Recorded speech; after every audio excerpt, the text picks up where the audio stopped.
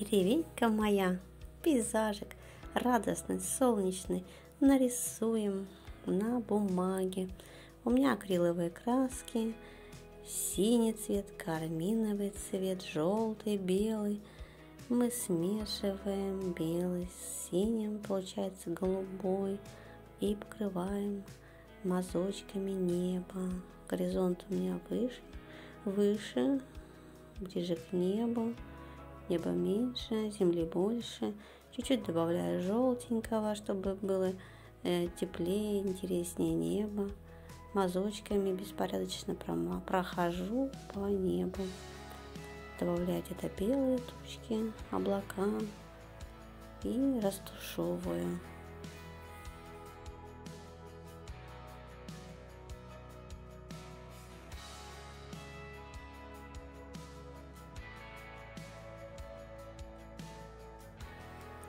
Дальняя салатовая даль, желтенького побольше. И мазочки у меня идут, размазываются. Добавляю немножко кармина в желтый, получается оранжеватые. Провожу мазочки вертикально по форме травинок. И делаю цветное поле. Где-то темнее, больше зеленого, то есть больше синенький с желтым смешиваю. Или туда кармина добавляю, получается, оранжеватые, теплые, коричневатые оттенки. И вот так я мазочками рисую поле ближе к правому углу темнее поле, больше синего, получается такой темно-зеленый. И такая солнечная, радостная композиция, пейзаж. Лето очень теплое, интересное, вдохновило меня на романтичный деревенный, деревенский пейзажик.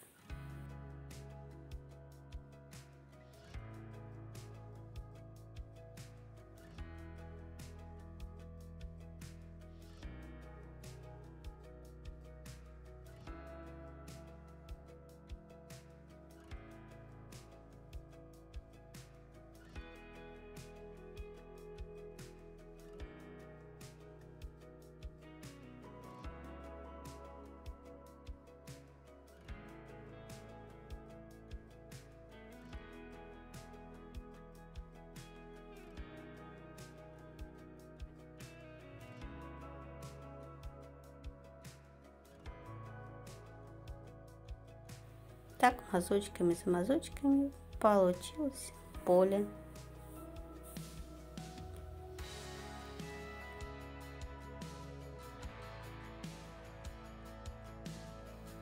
Ну, смешав все краски, кроме белого, получилось у меня такой темно-коричневый.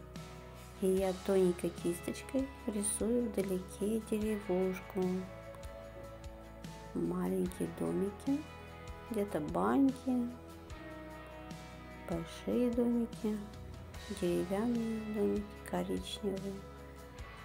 И прорабатываю их форму.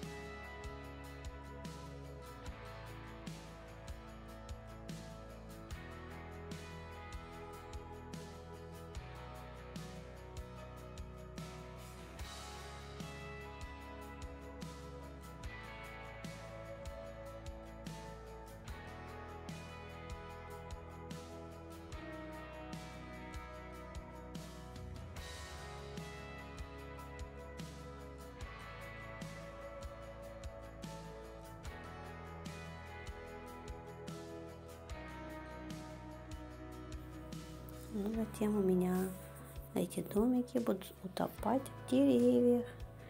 Деревья, там может какие-то яблони возле домиков, сады. Поэтому э, домики соединяются массой деревьев. Тоже они то темно-зеленые, то посветлее.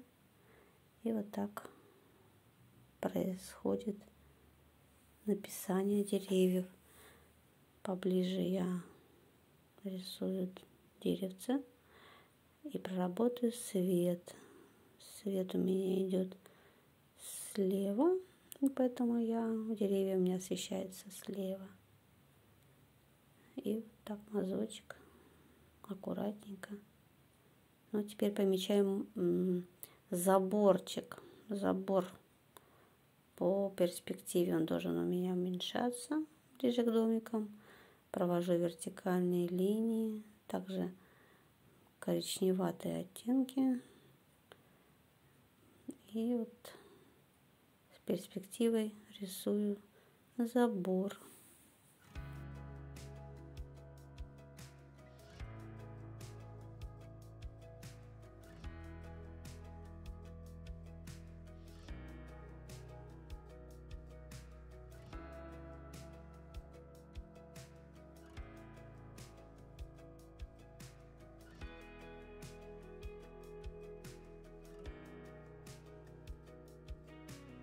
Ну, прорабатываю свет, тень заборчика.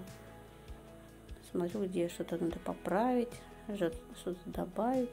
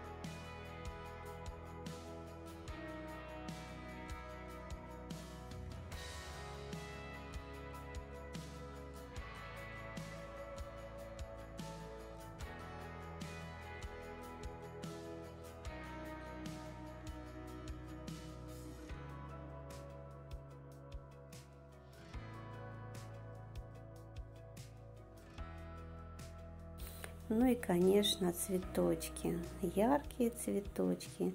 Я в, кармин, в карминчик добавляю белого, получается красивый, светло-фиолетовый. Белые цветочки разбросаю, желтенькие мазочками, поближе мазочки крупнее, так как цветочки крупнее, поближе к нам. Подальше они более расходятся в мелкие. И вот смотрю по композиции, где добавить цветочки, травинки, вертикальные травинки. И так уже прорабатываю более тонко свою работу. На переднем плане более подробно, более крупно, а вдалеке уже у меня будут расплываться, более обобщаться. Вот такая теплая композиция. Очень приятно рисовать. Теплое лето, небо голубое, травка салатовая, светлая, много пахучих трав, и зверобой, ромашки, и иван-чая, и э, маленькие гвоздички. И вот я располагаю. Можно рисовать и корову, и козу на этом поле добавить. Можно девушку с зонтиком – можно птичку, а можно аиста. Очень много аистов в этом году. Особенно в Пушкинских горах. Там вообще прям стая. Там чистый воздух, запах приятный. И их там много плодится. Так что впечатление летнее было хорошее. Рисовала много этюдов, пейзажей, дышалась воздухом, смотрелась на красоту на деревушке. И вот меня тянет на такие сейчас темы. Домики, поля, пространства большие. Так что рисуйте. Можно нарисовать акрилом, можно гуашью, маслом, загрунтовав, конечно, бумагу перед этим. Бумагу можно загрунтовать желатином, развести его желатиной и ну, немножко, чтобы желатин застыл, и прокрыть э, бумагу, чтобы она, бумага высохла, и туда можно рисовать маслом, масло не проникнет в бумагу. И вот можно рисовать пастелью, в общем, все, что у вас есть под рукой, акварелью, и рисовать не спеша, вдохновляться. Тучки у меня были розоватые, я добавила белый чуть-чуть карминчика и чуть-чуть вот обобщила, ударила акцент на облачка. Ну и смотрю, как красиво получилось, я так думаю. И у вас обязательно получится. Пришлите, покажите свои рисунки. Мне очень любопытно посмотреть, как вы нарисовали, может, свою тему. Предложите тему, что можно с вами нарисовать. И обязательно нарисую. Всего хорошего!